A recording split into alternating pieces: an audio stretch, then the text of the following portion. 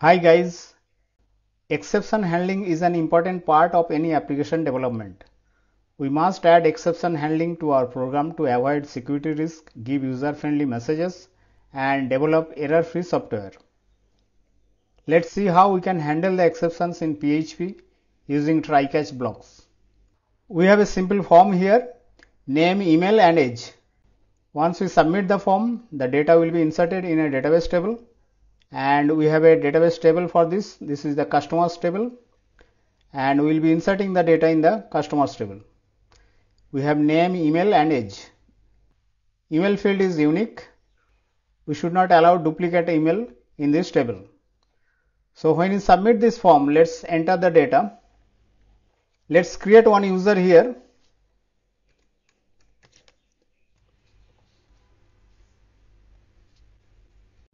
So we are entering John Doe, email john at test.com and age 44. Click on submit. User created. If you see in the database, there is a row inserted here. Now create another user with the same email ID. Test user and give the same email ID. We already have an user with the email john at test.com and we are creating another user with the same email ID. So let's submit the form. So it gives a fatal error.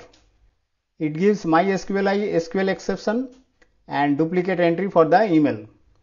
So the program is actually crashing because we have unique email ID. So that is why you cannot enter the same email ID for a different user. So we have to handle this error we have to write exception code in PHP so that we can present this error in a user friendly way to the user and at the same time user can proceed with the data entry by correcting the email ID. So let's use the try catch block in the PHP to handle this error. I have a program add customer.php and there is a form here. So name, email, age and a submit button and when the form is submitted I just take the values from the form and there is an insert statement that inserts the row in the database and then we are using the prepared statement to insert the row in the database and then giving a message. So we'll use try catch block here give try So your execution statement should be in the try block. Immediately after try block, give a catch block, catch exception $e. This is an exception class and create an object $e and then we'll create an error message here $error msg equal to $e use the get message method here to display the error. And we'll display this error in the form. The same way we are displaying the success message. So just copy this and paste it here. And give is error message and at the same time this was success message. Alert success we use the class. For error message we will use alert danger.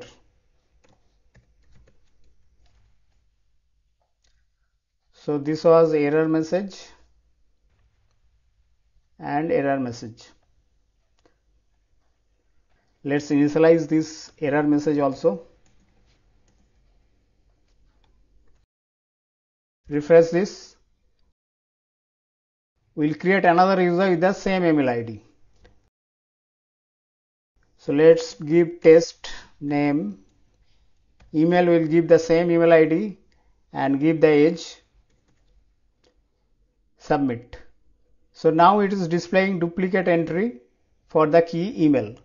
So now you can see that it does not give any fatal error. Instead, it is displaying a message and user can read this message and correct the email ID and submit the form we can also raise the exception for certain condition. So let's say For the age, we do not allow age more than 30. So here we'll add condition if dollar age greater than 30 throw new exception and give the message here age should be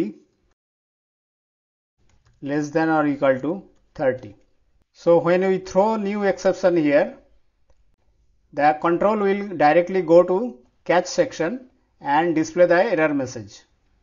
So here we are throwing a new exception with the message as age should be less than or equal to 30 and the control will go to the catch section. Rest of the code will not be executed. So let's try refresh it let's give a name. We have to give a different email now.